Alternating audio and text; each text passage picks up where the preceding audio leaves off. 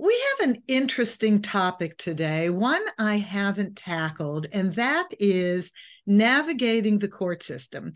Now, typically, I will work with people who either use me, use an attorney, or use somebody else to file, and they don't really generally go to court. But for those of you who need to use the court system straight away, that need to go to the court yourself, that may need to file for hearings for one reason or another. I think having Gayle Glazer here, the only court appointed mediator we have had on the show, Gayle, in four years. Thank you. This well, is you're more than welcome. Yeah, no, this is really good because you have information from inside the court that people typically wouldn't have. And even if those listening don't need that hands-on experience i bet they know people who do.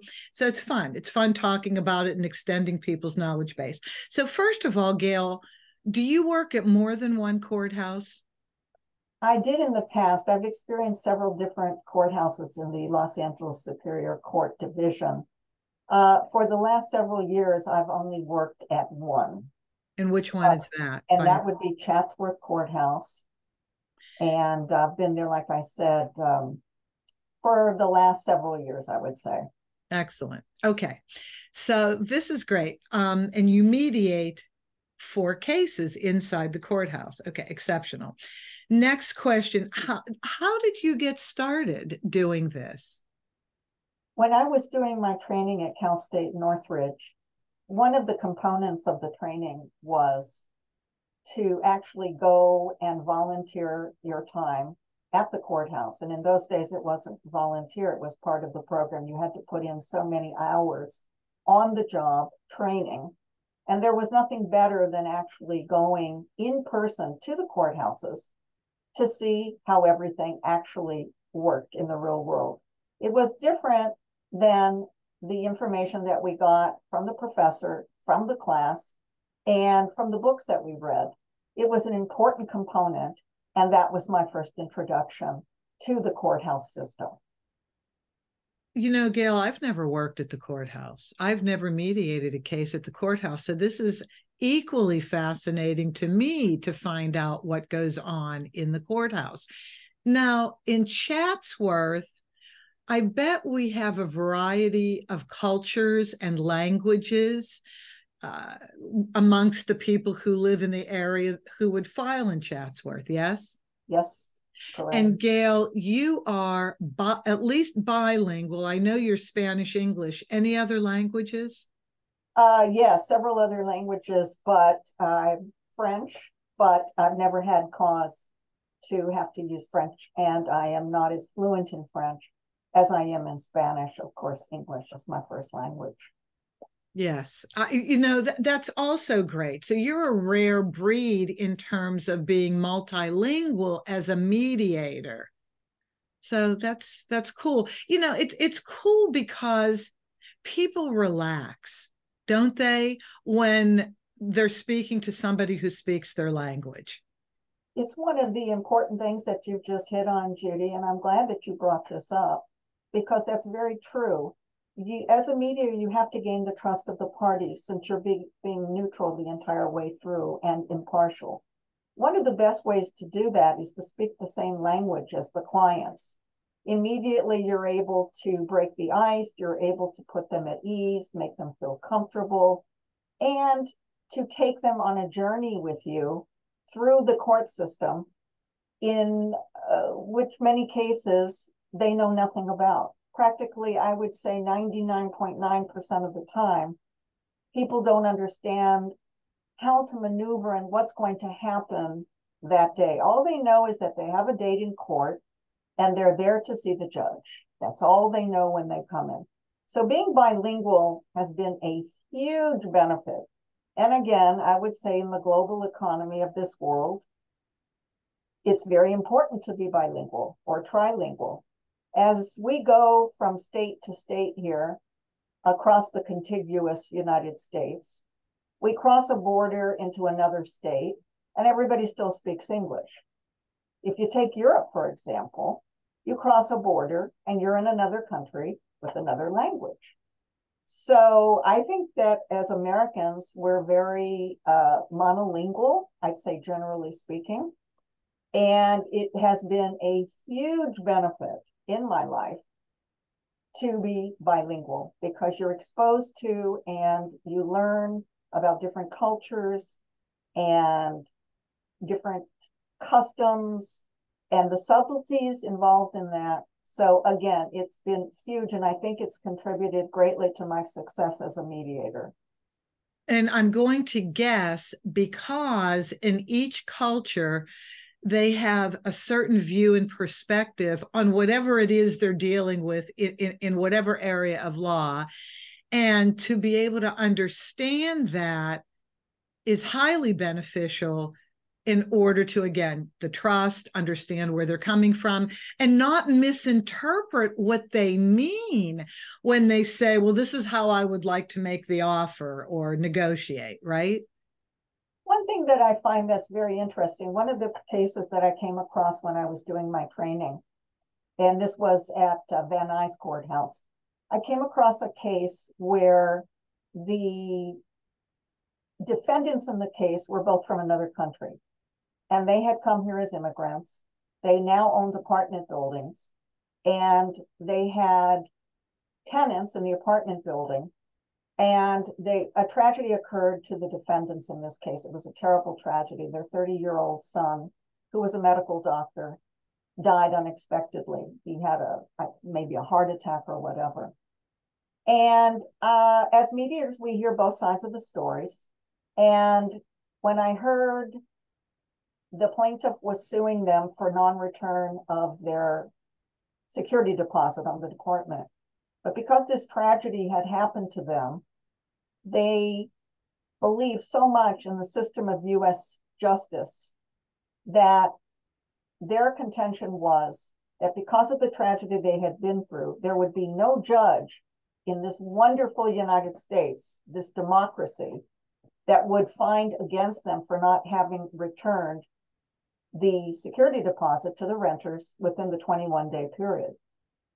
And I tried to explain to them, I thought that was an extremely interesting perspective on their part. And again, cultural differences. And I had to explain to them that the judge would only apply the law, and they didn't believe me.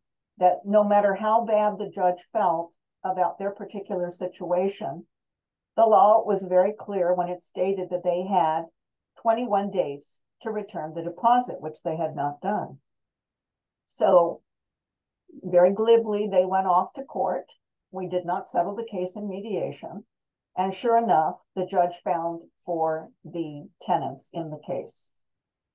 So that is an interesting example. And that was before I ever started actually practicing.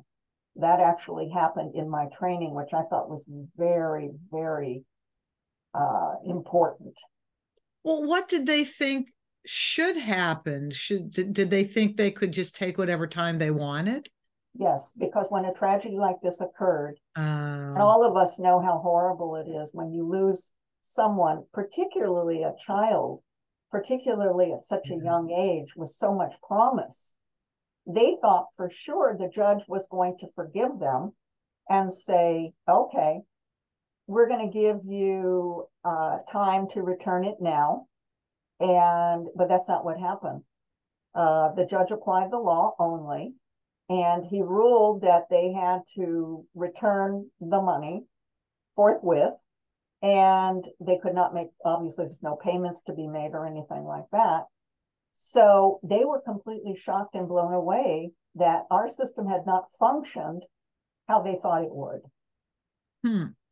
All right. Now, this happens all the time in divorce. I mean, people are quite surprised at the lack of emotional applicability um, that judges will use. They have to follow the law. I, I, I, mean, if they didn't follow the law, it would be hugely inconsistent. And why do you even have law then? You make a very good point. This was one of the things in the field of law there was a professor at, I believe it was Harvard University. His name was Roscoe Pound, and he's known as the father of mediation. And he was always hearing cases as a lawyer. And he felt that something was missing. Sometimes situations warranted something deeper than just the law. And again, because he is the father of mediation, he was the first, what we should we call mediator, where the benefit is being able to have local control and being able to think out of the box and have the parties maintain control and come up with a negotiated settlement. And I believe this was at the very beginning of the 20th century when this occurred. And this is the birth of mediation, basically. And it makes so much sense. Many times I've sat in a courtroom and the judge was only able to apply the law. And he, many times, or she would say, We have a mediator here today. Are you sure you don't want to go outside and do mediation with this? Particularly now when we're coming out of the moratorium for unlawful detainers and for evictions. We've had a moratorium for the last three years, the city of Los Angeles and other jurisdictions, because people could not pay their mortgages. And so they, we would have had a, a out and out mass evictions and people on the street. In order to avoid that, we had the moratorium. Now the rent is coming due. And people are, judges particularly, they're going to have to enforce the law now. So, in mediation with an unlawful detainer, both parties have the power to work out a negotiated settlement about back payment of rent. And something that they're not going to get every single thing they ask for, neither party, but both parties are going to get something as opposed to an uneven playing field where there's no question that people owe rent in many cases and to be out on the street here is another example. Well, wait a minute. I, I want to get back to divorce because this is what the audience uh, is listening for. And that was a great example. But what I really wanted to know, and I kind of think it's similar, how are mediators assigned litigants? So you have a hearing coming up. People have to go to court for some reason or another. They filed a case, they need the judge to be part of a decision making situation. Uh, but so many times, uh, the court wants uh, a mediator to see the couple first or see the parties first and then see if they can work things out, right?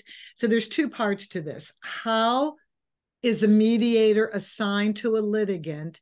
And when they come to some compromise, how's that communicated from the mediator to the judge? Okay, that's a good question. So basically, every courtroom is different, and it depends on what type of courtroom you're in.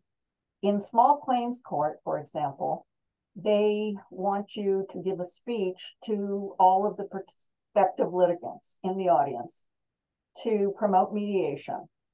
When you're up in family law, which also included at one point for many, many years, civil harassment and the use of restraining orders. True. Um, again, the judges many times would sit at the bench when they came into the courtroom and they would talk about the benefits of mediation. So many times people don't know anything about what mediation is. So this is a very important question that you're asking because they're there to see the judge. So there has to be some type of an interaction, whether it comes from the judge, whether it comes from the mediator, to let people know that the service is there and it's available. Okay, so I want to clarify something since this is what you live through and I don't. What you just described does that mean that there are many litigants sitting in the courtroom waiting for their cases to be heard? And the mediator comes on initially and says, I am Gayle Glazer, I am the mediator, this is what mediation is. And then does the judge say, Would any of you like to see Gayle before your hearing? How does that work? Yes, that's exactly what happens. Okay. Or the bailiff, not necessarily the judge, but sometimes it would be the clerk of the court yeah. or it would be the bailiff. And they always emphasize that mediation is voluntary. And it is, it is indeed. But there's a bigger part to this whole scenario, and that is sometimes I'll go out, I'll introduce myself to all the litigants that are there for their cases that day.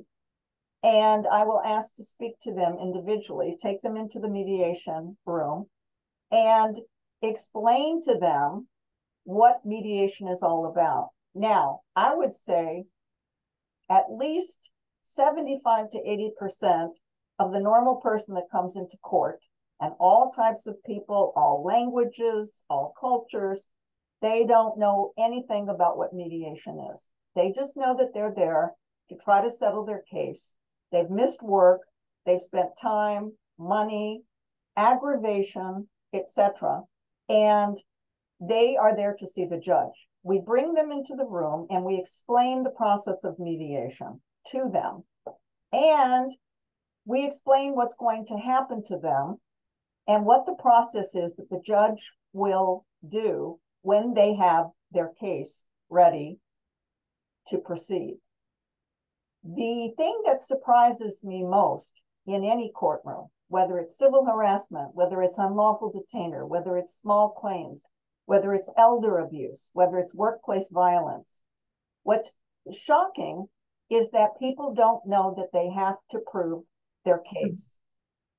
They have no clue that they have to bring any type of evidence. And once they find out, because of the help that I'm giving them and the assistance to explain the process to them, they will say things like, Oh, can I continue my case? Or can I go home and come back and get my evidence?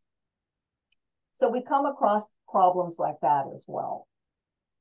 All right, so this would be a good stopping point before we before I ask uh, the final question on this point about how you get hooked up with people uh, once you make the speech.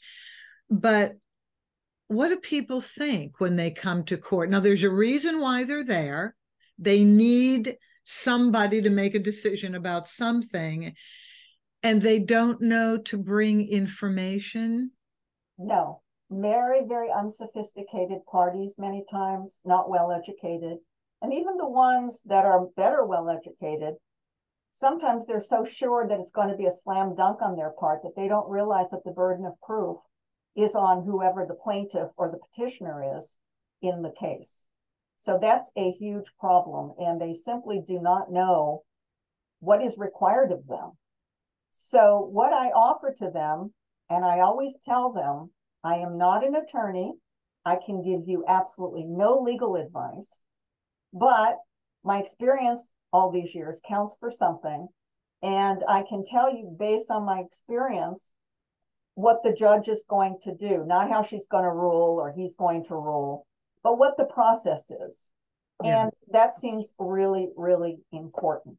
Once they agree, if they agree to mediate, sometimes people will say that they're going right back into the courtroom. They're only there to see the judge and they know they're going to win. And so, you know, I wish them well. I wish them luck. They go back in.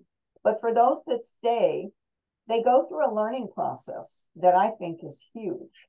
And that you can say about those people, once they've had this experience and they ever get called into any courtroom again, no matter what kind it is, they're going to view this very differently. They're going to think about burden of proof. They're going to think about evidence.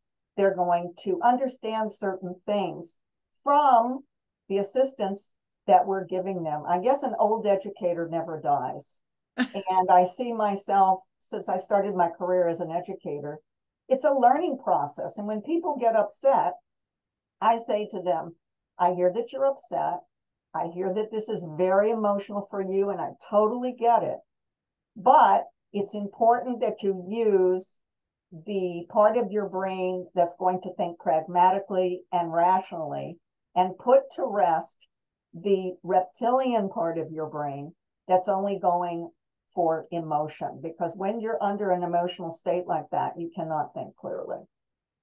So i believe the second part of your question was when somebody does decide to mediate how does that go down? Okay. So we do a mediation. We might do it. Well no no no no. The, the second part was how do you actually get the people time wise assigned? How does this work out logistically? Okay so like i said either the judge will identify the parties to come in and mediate or i will give a speech and people will raise their hands and they'll say i want to mediate. They'll sign up on the list and i call one after the other one party after the other. Or sometimes i go out into the hallway and i make a speech. I'll call a party's name, bring them into my room, and ask them if they're interested in mediating.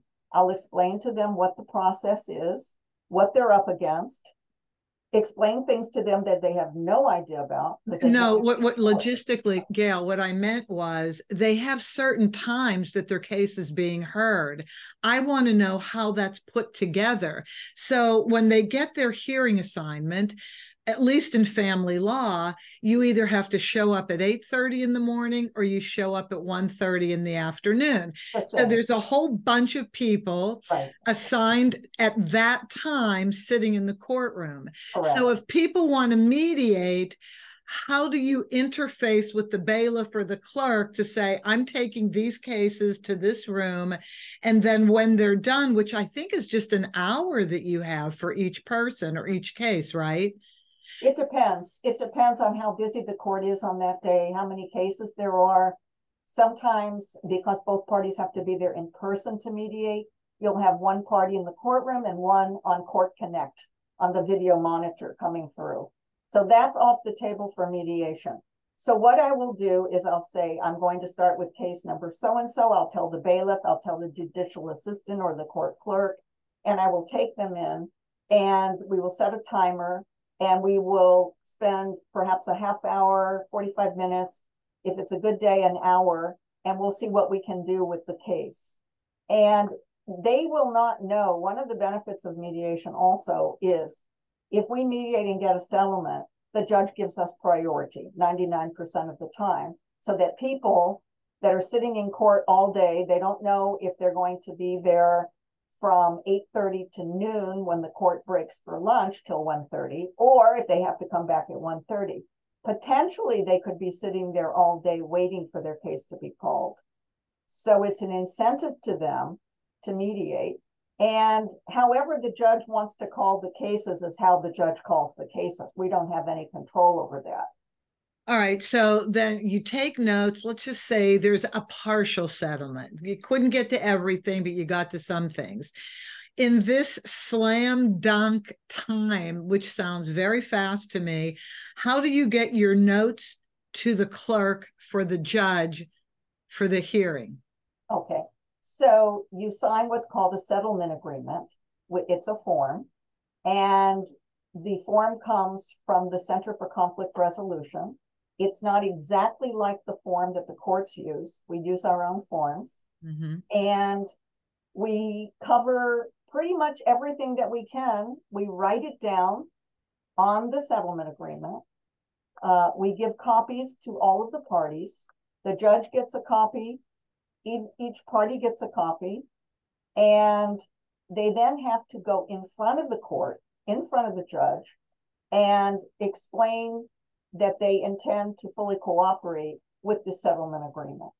And the okay. judge will ask them such questions as Did anybody force you to sign this agreement? Did anybody promise you something for you to sign this agreement? Did you do this of your own free will? And the answers are yes, yes, and yes.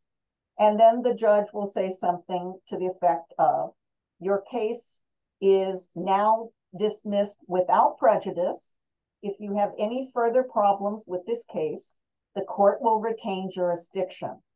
So if somebody doesn't follow through, if the settlement was that the defendant is going to pay pay the plaintiff a certain amount of money, in a certain amount of time or make payments, etc., they are going to have to follow through with that, or the party is going to come back in and the court will retain jurisdiction. And so that's what the judge tells them. The deal points are memorialized in a minute order.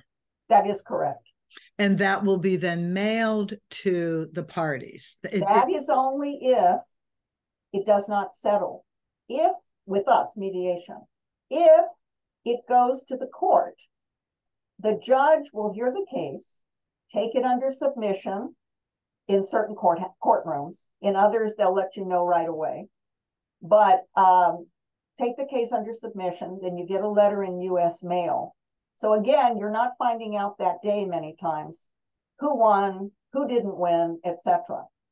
What but if it's me, but if it's mediated, the, the judge honors that, correct? right away. So you so, absolutely know what what you're getting if you absolutely. settled in the mediation. And that's something that I always tell the parties that they're not aware of. They have no they had no idea of that.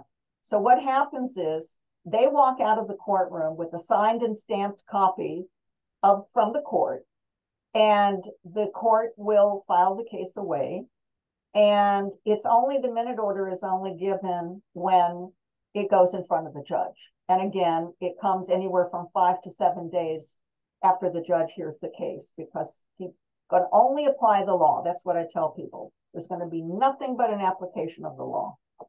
Okay.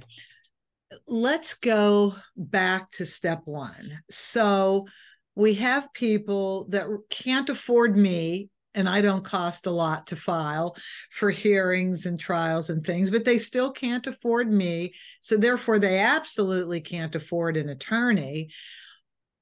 How do they get into the court system and file? What help is provided there? Okay. I see that as a big problem because there is help. There are in there is in every courthouse what's called a self-help center and they're staffed with um, people that will answer questions and help them. However, I'm assuming that there's different interpreters there, or they can get an interpreter, or their predominant language in all courthouses in Los Angeles County is Spanish. So they can get help that way. But the truth of the matter is, that there are a lot of people that don't know what they're doing. And they don't know how to reach out to these self-help centers. And they're very lost deer in the headlights when they come into court particularly up in family law. In family law they have to see a mediator that works for the LA County system and that in a divorce mediation, for example, the judge will send them to mediation, which is upstairs. That's not the same type of mediation that we do. Um, the mediator listens to the case and makes recommendations to the judge regarding custody, regarding holidays, visitation, money, all of those type of things. And the judge then makes a decision with all of these different pieces of the puzzle. In mediation, that is not family law, everything is done by the parties. So I think that not only does a mediator who is remaining neutral and impartial the entire time, but is also on a journey to help people to take them from point A to point B while all the time teaching them what's going to happen, what's going to occur in the courtroom, and giving them the tools to make an informed decision on their own. Okay, let's go back to the self help center though. So there's a self help center in every courthouse. And if you want to file for a legal separation or a divorce, uh, or if you're unmarried and you need to open a custody case, you go to the self help center, you say, This is what I'm here to accomplish. and then it's my understanding that they'll give a packet of forms applicable to what you need to file for is given to them and i'm i'm li- i listened to some of my own clients who tried it that way and became too baffled I think they get more forms than they really need. They just get this giant package of forms and they have to sort out what to use, what not to use. There's no question. And this is a huge problem that I, I'm seeing that people are encountering. Um, I don't know how often and what hours these self help centers are open. I remember um, the one that when I used to work in Pasadena Superior Court, that was a huge one with a huge room with many, many people that are there helping and calling people.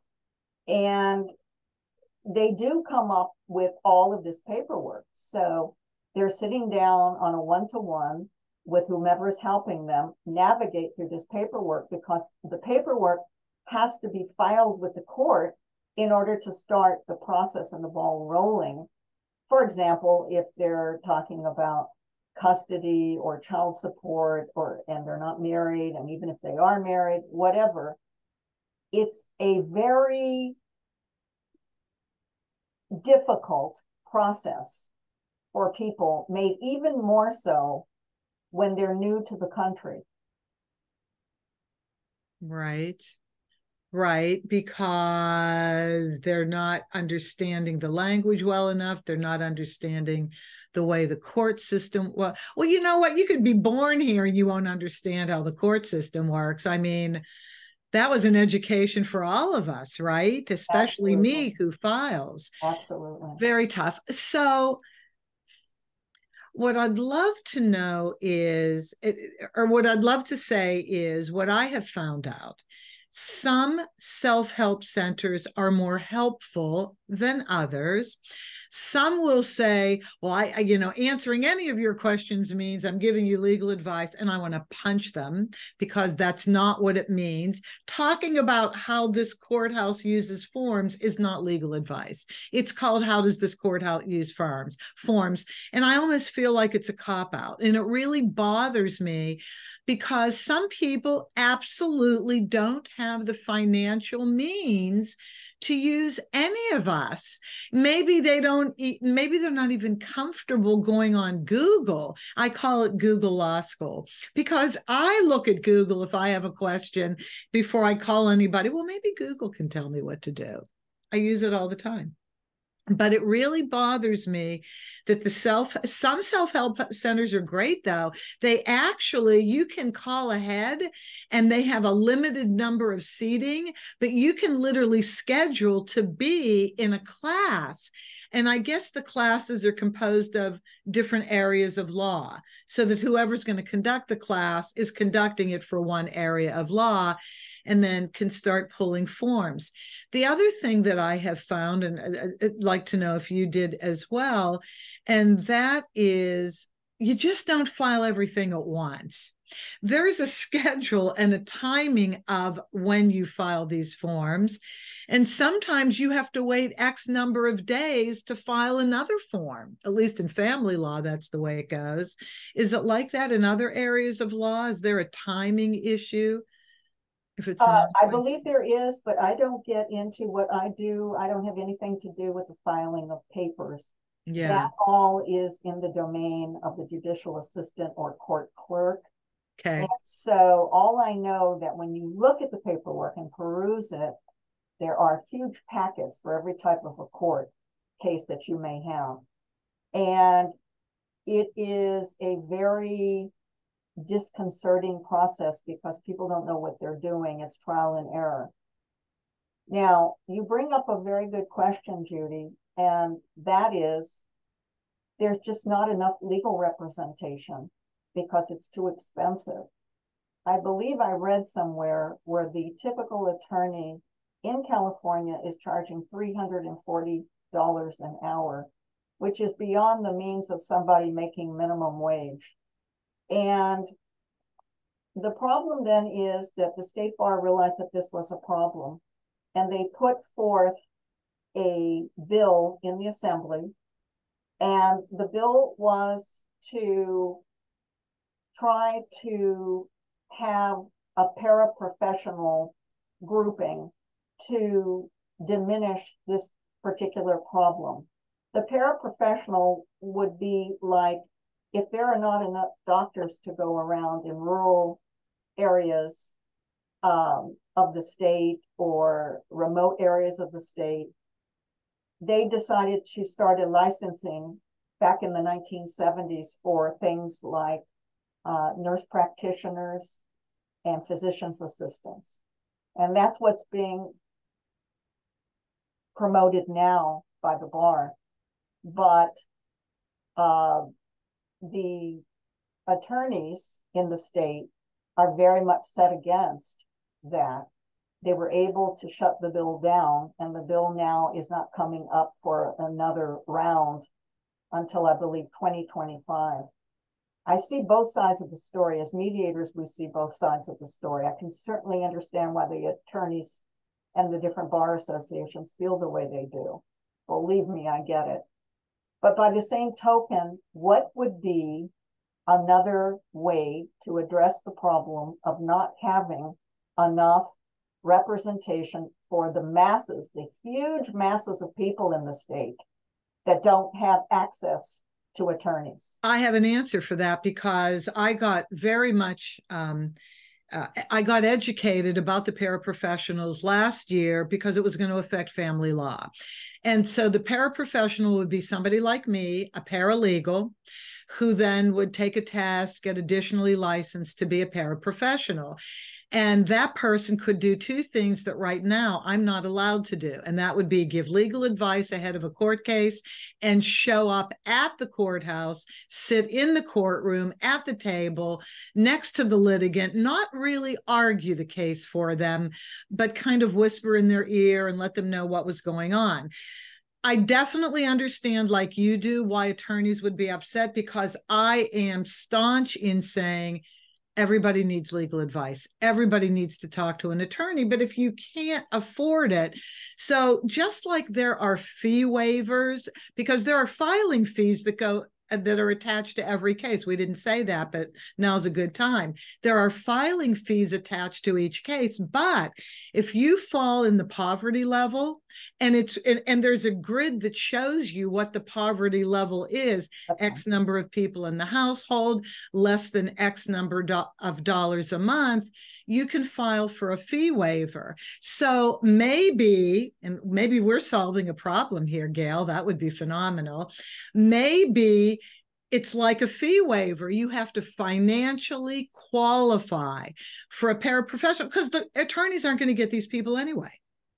You make a great point, and that could be from your mouth to God's ears and to the mouth and to the ears of the state legislature. I think that there have been many um, solutions proposed, but that I haven't heard proposed in the way that you just did it.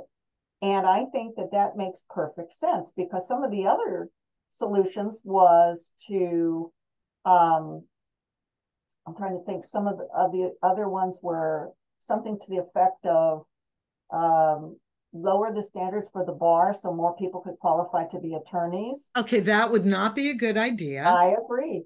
Yeah. yeah. yeah. None of them would have been, uh, I can't remember what the other proposals were, but one of the things that, that I heard attending a, a bar association meeting on this was that they do not want stores to open up inside Kmart. I'm sorry, not Kmart anymore. Target, I know, I know what you mean. The Costco Walmart, paraprofessional. Yeah, Costco, and you you walk in there and you pay your money and you have access to a paralegal, and um, they're very they they don't want that to happen. Well, I uh, wouldn't want that to happen either. No, that actually no. really diminishes the role of the paraprofessional. I totally agree.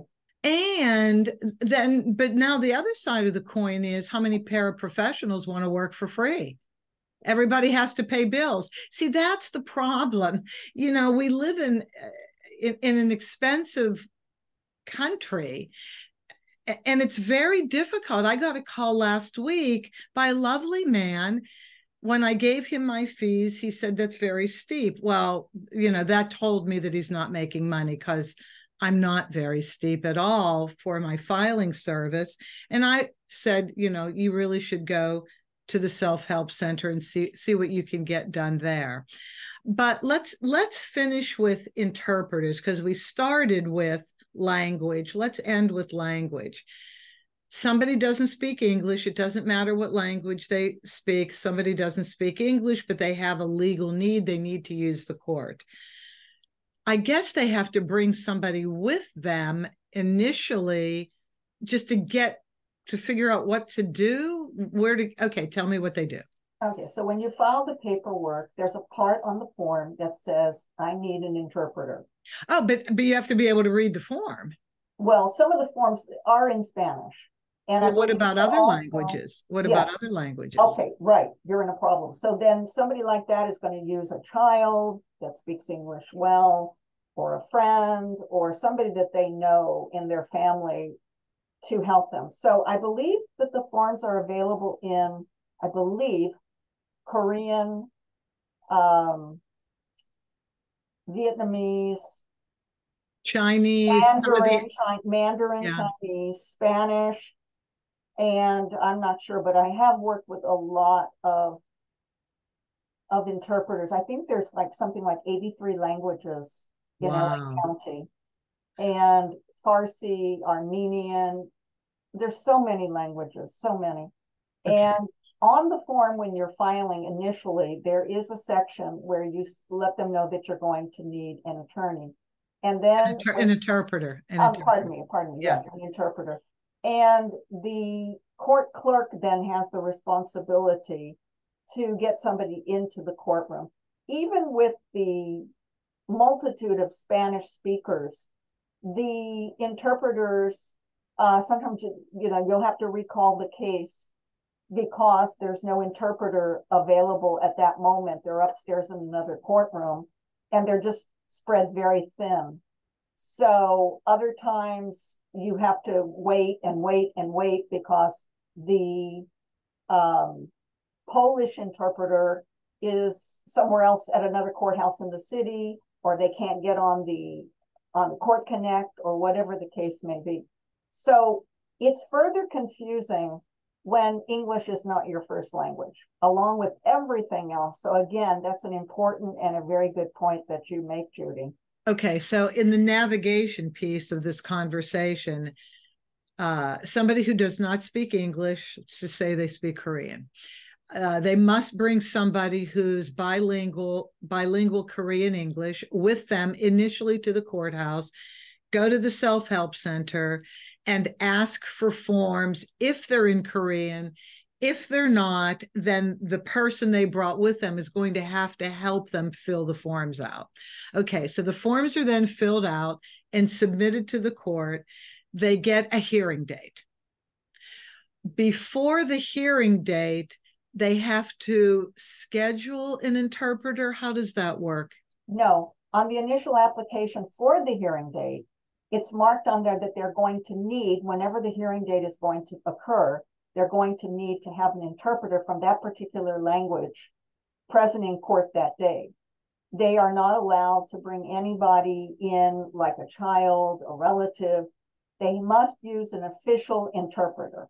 I see. Okay. And so they don't pay for the interpreter. The that court, is correct provide county Ah, okay. So I learned something new today. I had no idea that's how it worked. Yes. Okay. Interesting. All right. What haven't I asked you? Hold on. Um, what what did have you do you want to say anything that you thought was important that I have not asked?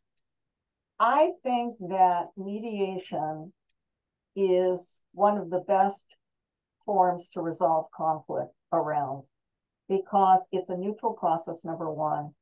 Number two, the parties have the control, not somebody telling them, like in, in a judge or an arbitrator or a private judge or anybody like that, telling them how it's going to be. They can actually have the power to negotiate and think of something outside of the box. Instead of paying somebody for their services, Maybe they can do some type of an exchange. There's all types of creative solutions that we can work out in mediation. I just wish that more people understood what mediation is so that we didn't have to explain it again and again and again. Um, and that seems to be, you know, what we're doing. Well, when you say um, when, when you're speaking about mediation, are you speaking about private mediation where people charge? I'm talking about any type of mediation. Okay.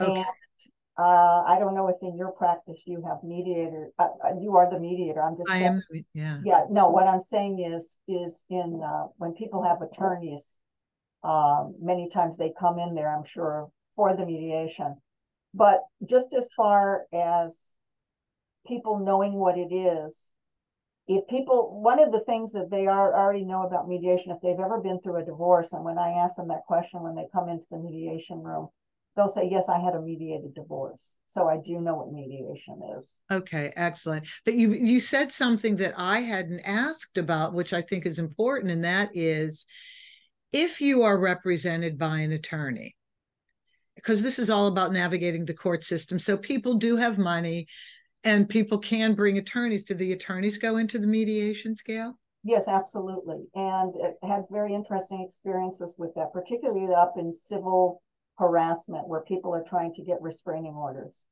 Um, so what happens, there's a lot of attorneys up there. They could be there for the petitioner, they could be there for the respondent. Uh, and it's very interesting. Wonderful, wonderful attorneys. I've met many wonderful attorneys, but an attorney is there to litigate. That's what their background is for the most part, many of them. Some of them are also mediators. The ones that are mediators understand the process. The ones that are criminal particularly and litigators many times they'll come in and walk into the mediation and they'll say to me okay you're the mediator so before we come to any agreement i want to put this on the table and that is i want the other side the client on the other side to pay my attorney fees and i look at that person and i say and i'm supposed to be neutral and impartial if i would put something like that on the table I said, if that's the way you feel, then please, by all means, take your case and go in and hear the judge. The judge can give you perhaps your attorney fees. But that's a very good example of the difference between litigation and mediation. And all I know is family law. And in family law, if one party wants the other party to pay attorney's fees, you have to file for it. And so yes. either you mediate that right. or the judge makes a decision on that. Right. So I find that that's very interesting when an attorney, knowing that he would have to fill out additional paperwork later on and put it in front of the judge to uh, agree to his fees, when they come into mediation, that's the first thing many, not everybody, okay, but many and right away, you think to yourself as a mediator, how is this mediation? It's not. And so anybody that would say, okay, that that sounds fair and put that on the table, I mean, I just it just goes against everything that a mediator does. Gayle, do you have you ever had just attorneys come in the mediation and their clients sat outside in the hallway? I've spoken to attorneys. I don't like to do that because it means that I'm going to have to backtrack and go over it again with their clients. Um, so what I really like to do is to make sure that the party's in there because they have to understand for themselves what's going on and what's being proposed. So no, I don't like to do that because it makes more work. You've got to have the client in there with the attorney. And from me as a mediator, I have literally been blessed by some of the nicest attorneys in family law that have shown up in mediations, but generally they don't. Generally, it's the parties themselves, even if they have legal counsel or they're represented. But there are those cases that I've inherited where it's in the middle of the case and they will tell me, well, my attorney just told me to sit in the hall and they would go in and, and make decisions and I don't like what happened. And I'm like, oh my gosh, these poor people didn't know because they've never done this before that they should say no no no i don't want you to go in in place of me i want to be there this is my life I want to be part of the decision making. I don't want you to commit me to anything that I might not want to do. Absolutely. I totally agree with that. And you bring up a very, very important point. You've got to empower. I understand that attorney's there to advocate for you, but you in mediation have to understand yourself and make your own decisions and then run it by your attorney, whatever you decide. And whatever happens, happens. But at least I want them in the room.